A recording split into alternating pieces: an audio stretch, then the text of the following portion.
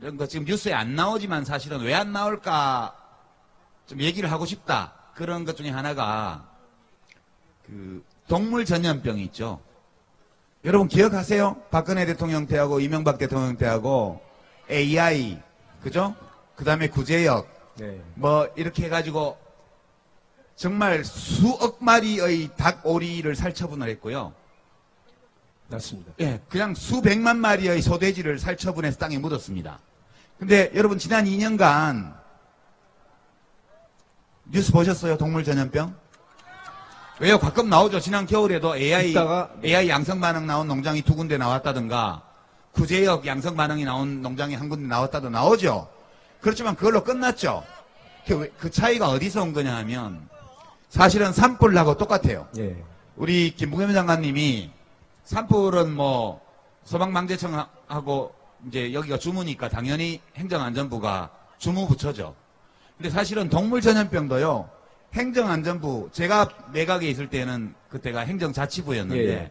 거기가 제일 중심이에요. 왜 그러냐면 인체 인수 공통 전염병은 우선 농림부 관계되죠. 해수부 관계되죠.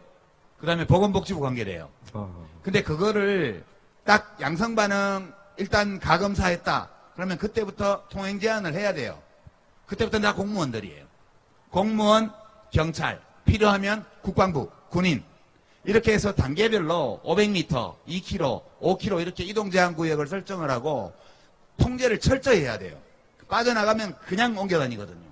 근데 제가 지난 2년간 AI나 구제역 이런 양성 반응이 나온 농장들이 한두 개씩 있었는데도 왜 이것이 안 퍼졌을까? 안 퍼지니까 뉴스가 안 돼요. 그쵸? 네. 엄청 잘하면 잘한 건데도. 엄청 잘하면 뉴스가 안 돼요.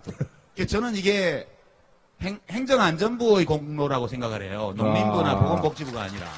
예. 맞죠? 아니 유 이사장님 저거 저녁 사랑 겁니까 왜 이리 뜨우세요? 아까 도시락 드셨어요. 아니 뭐 제가 뭐 얻어먹으려고 이러는 줄 아세요? 제 해봐서 안다니까요, 제가. 예. 그거 어디서 많이 듣던 얘기인데. 에이, 여러분, 제가 해봤어 합니다. 이거 다 새빨간 거짓말인 거 아시죠?